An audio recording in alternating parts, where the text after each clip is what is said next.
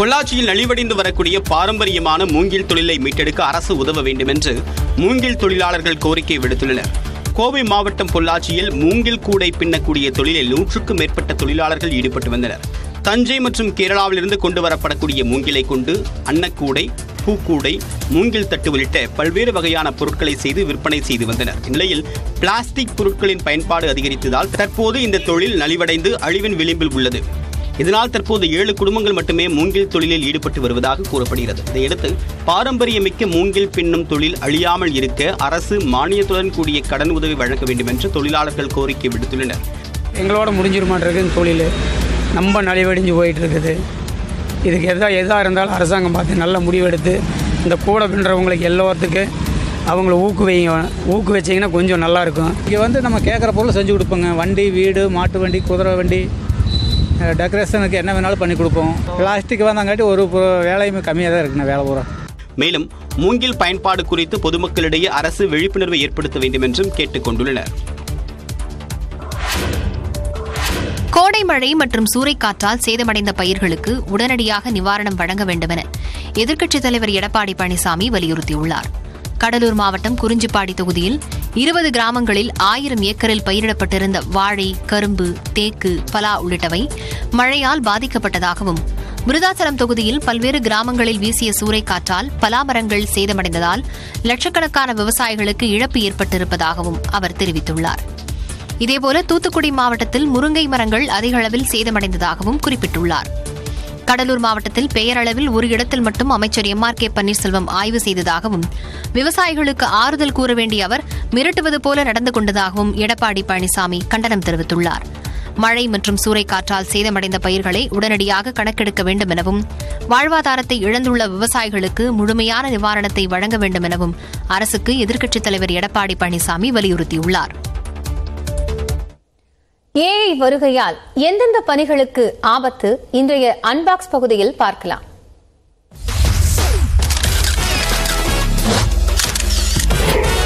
AI வருகைனால என்னென்ன வேலை வாய்ப்புகள் பறிபோக வாய்ப்பு இருக்குன்னு பார்த்தா முதல்ல மொழிபெயர்ப்பாளர்களை தான் சொல்றாங்க.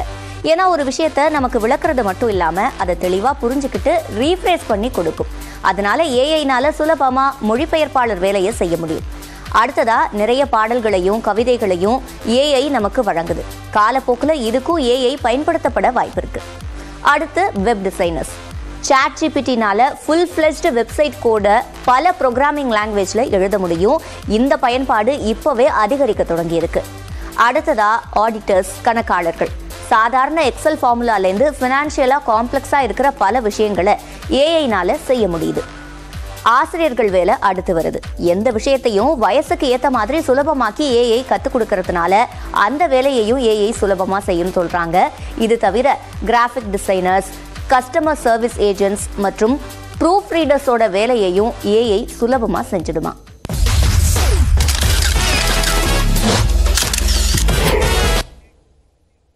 மேலும் அண்மை செய்திகளுக்கு இணைந்திருங்கள். இது நியூஸ் எயிட்டின் தமிழ்நாடு.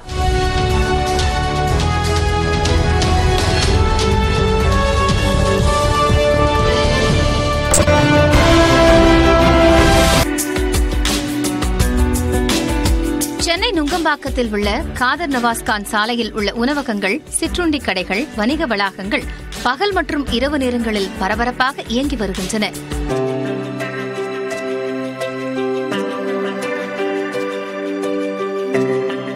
வார இறுதி நாட்களில் சென்னைவாசிகளின் கொண்டாட்ட தளமாகவும் இச்சாலை மாறிவிடுகிறது.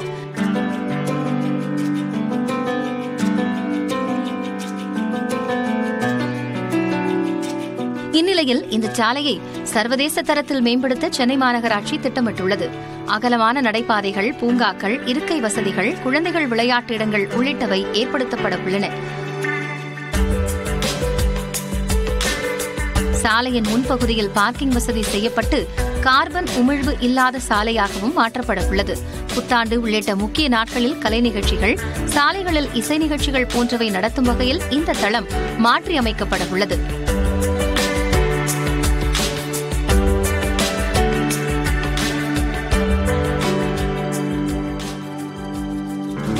இருபத்தி நான்கு மணி நேரமும் இயங்கக்கூடிய வகையில் மாற்றப்படுவதன் மூலம் சர்வதேச உணவக நிறுவனங்கள் அதன் கிளைகளை அமைக்க முன்வரும் என்றும் சிறந்த வர்த்தக பகுதியாகவும் வளர்ச்சியடையும் என்கிறார் ஆயிரம் விளக்கு சட்டமன்ற உறுப்பினர் எழிலன். சுற்றுச்சூழலுக்கு இங்கே வந்து கார்பன் எமிஷன் கட் பண்ணுற ஸ்ட்ரீட்டாக உருவாக்கி அதே நேரத்தில் வந்து மக்களுக்கு வந்து குடும்ப குடும்பமாக வந்து இங்கே இருக்கிற ரோடை வந்து என்ஜாய் பண்ணுறதுக்கான வழிமுறைகள் பண்ணுறோம் ஸோ அப்போ என்னென்னா நிறைய லாபிஸ் கிரியேட் பண்ணுறோம் ஸ்பேஸை கிரியேட் பண்ணி அங்கே வந்து food corners food streets concept உருவாக்குற தளமாக அமைக்கிறோம்.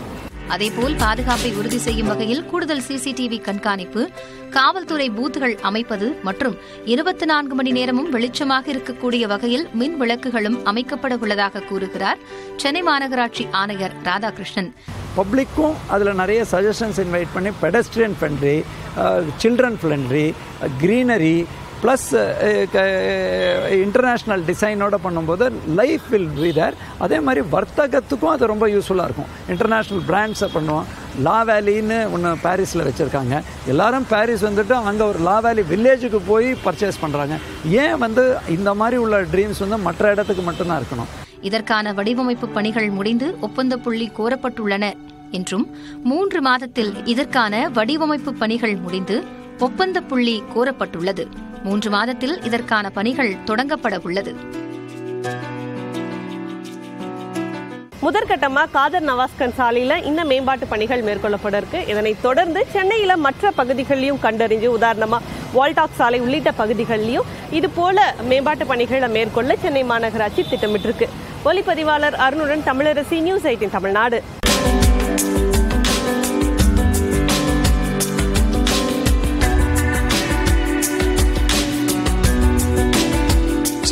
நுங்கம்பாக்கத்தில் உள்ள காதர் நவாஸ்கான் சாலையில் உள்ள உணவகங்கள் சிற்றுண்டி கடைகள் வணிக வளாகங்கள் பகல் மற்றும் இரவு நேரங்களில் பரபரப்பாக இயங்கி வருகின்றன.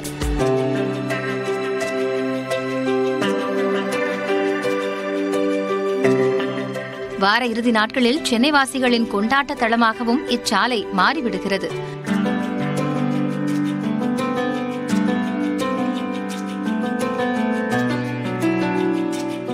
இந்நிலையில் இந்த சாலையை சர்வதேச தரத்தில் மேம்படுத்த சென்னை மாநகராட்சி திட்டமிட்டுள்ளது. அகலமான நடைபாதைகள் பூங்காக்கள் இருக்கை வசதி.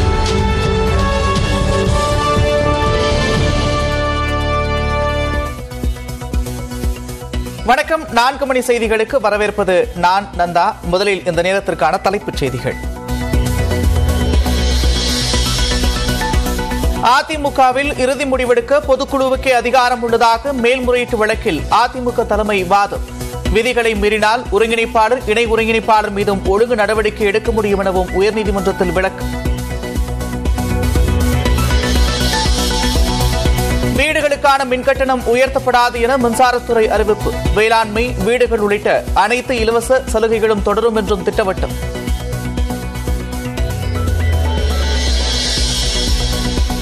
வணிக மற்றும் தொழில் அமைப்புகளுக்கு மட்டுமே மின்சார கட்டணம் அதிகரிப்பு. யூனிட்டுக்கு பதிமூன்று பைசா முதல் இருபத்தி ஒரு பைசா வரை உயர்த்தப்படுவதாக அறிவிப்பு.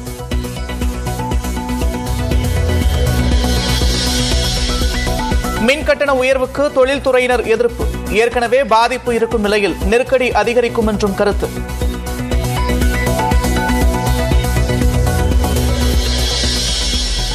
யார் ஒப்புக்கொண்டாலும் ஒப்புக்கொள்ளாவிட்டாலும் அனைத்து துறைகளிலும் தமிழ்நாடு தலைநிமிர்ந்து கம்பீரமாக நிற்கிறது. அரசு தொழில் பயிற்சி நிலையங்களை நவீன தொழில்நுட்ப மையங்களாக தரம் உயர்த்தும் திட்டத்தை தொடங்கி வைத்து முதலமைச்சர் மு ஸ்டாலின் பேச்சு.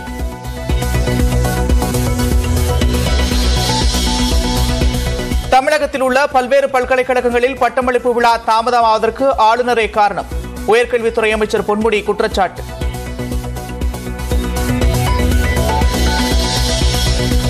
ஒரு கட்சியின் பிரதிநிதி போல ஆளுநர் பேசி வருவதாக அதிமுக முன்னாள் அமைச்சர் செல்லூர் ராஜு கருத்து. அவர் பேசுகிறாரா அல்லது அறிக்கை அனுப்புகிறார்களா என தெரியவில்லை என்றும் பேட்டி.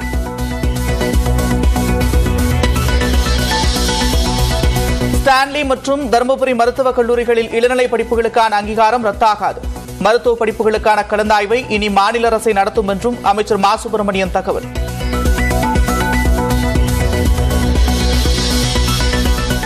ஜாமீன் நிபந்தனைகள் முறையாக பின்பற்றப்படுகிறதா என கண்காணிக்க டிஜிபி சைலேந்திரபாபு உத்தரவு. ஒவ்வொரு காவல் நிலையத்திலும் பதிவேடுகளை பராமரிக்கவும் காவல் அதிகாரிகளுக்கு சுற்றறிக்கை.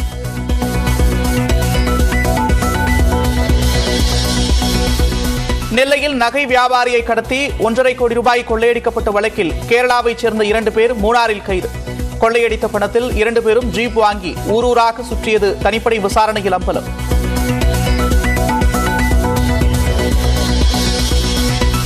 பள்ளி மாணவர்களுக்கான தேசிய அளவிலான விளையாட்டுப் போட்டிகளில் பங்கேற்காத தமிழ்நாடு. முறையான தகவல் கிடைக்காததால் விளையாட்டுப் போட்டிகளில் பங்கேற்கவில்லை என மாநில முதன்மை உடற்கல்வி ஆய்வாளர் நியூஸ் எயிட்டினுக்கு தகவல். கேரளாவில் தென்மேற்கு பருவமழை தொடங்கியதாக இந்திய வானிலை ஆய்வு மையம் அறிவிப்பு. தமிழ்நாட்டிலும் பருவமழை தொடங்க நிலையில். ஐந்து நாட்கள் மிதமான மழைக்கு வாய்ப்புள்ளதாக கணிப்பு.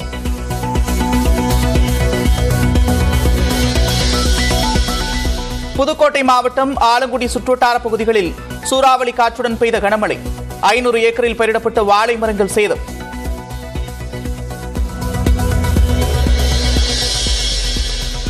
கோடை மழை சூறைக்காற்றால் சேதமடைந்த பயிர்களுக்கு உடனே நிவாரணம் வழங்க வேண்டும். எதிர்க்கட்சித் தலைவர் எடப்பாடி பழனிசாமி வலியுறுத்தல்.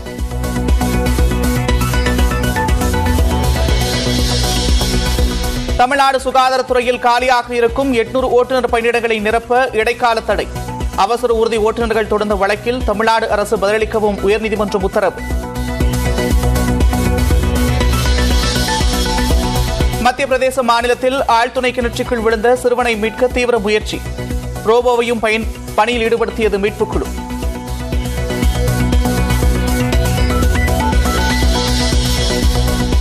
பிரான்சில் சிறுவர்களை கத்தியால் குத்திய மர்ம நபர் ஆறு குழந்தைகளுக்கு காயம் ஏற்பட்டதாக தகவல்.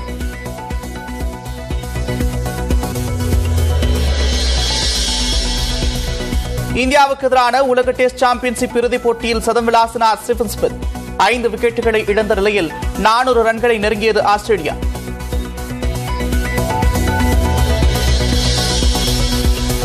ஐநூறு ரூபாய் நோட்டுகளை திரும்ப பெறும் திட்டம் எதுவும் இல்லை என ரிசர்வ் வங்கி விளக்கம். ஆயிரம் ரூபாய் நோட்டுகள் மீண்டும் புழக்கத்தில் விடப்படாது என்றும் திட்டவட்டம்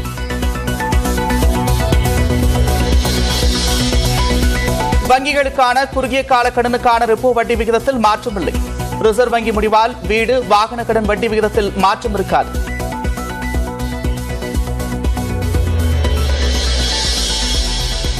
தங்கம் விலை சவரனுக்கு முன்னூற்றி இருபது ரூபாய் குறைவு. ஒரு சவரன் தங்கம் நாற்பத்தி நான்காயிரத்து ஐநூற்று இருபதுக்கு விற்பனை.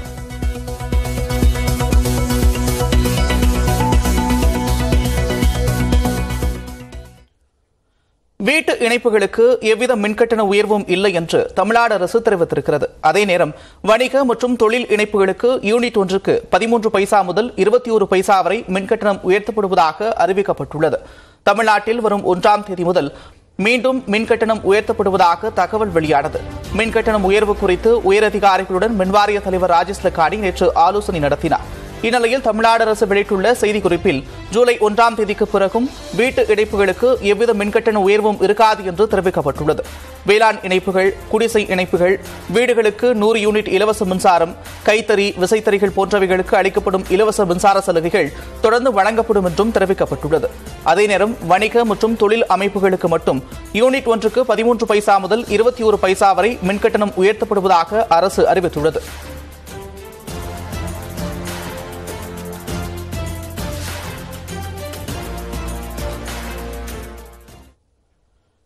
இந்தியாவில் பிற மாநிலங்களுடன் ஒப்பிடுகையில் தமிழ்நாட்டில் தொழில் நிறுவனங்களுக்கு மிக குறைந்த அளவிலேயே மின்கட்டணங்கள் உயர்த்தப்பட்டிருப்பதாக தமிழ்நாடு அரசு தெரிவித்துள்ளது.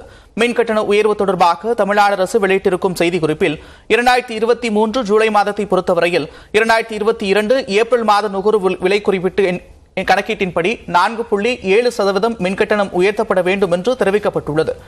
ஆனால் மின்சார வாரிய ஆணையத்தின் உத்தரவை செயல்படுத்தும் போது பொதுமக்கள் பாதிக்கப்படாமல் இருப்பதை உறுதி செய்ய வேண்டும் என்று முதலமைச்சர் அறிவுறுத்தியிருப்பதாகவும் கூறப்பட்டுள்ளது.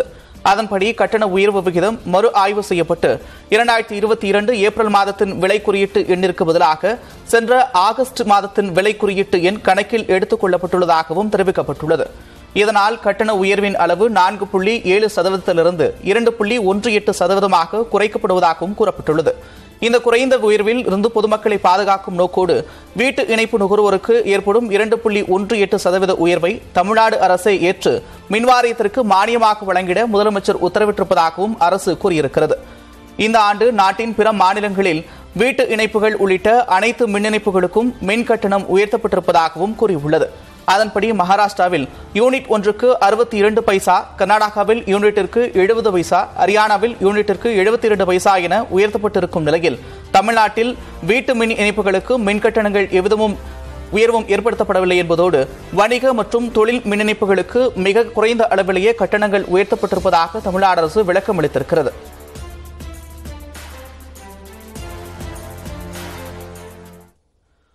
தொழில் நிறுவனங்களுக்கு உயர்த்தப்பட்டுள்ள மின்சார கட்டணத்தை திரும்பப் பெற வேண்டும் என்று சிறு குறு தொழில் நிறுவனத்தினர் கோரிக்கை விடுத்திருக்கின்றனர். இது தொடர்பாக நியூஸ் எயிட்டின் தமிழ்நாடு தொலைக்காட்சிக்கு அவர்கள் தெரிவித்த கருத்துக்களை தற்போது பார்க்கலாம்.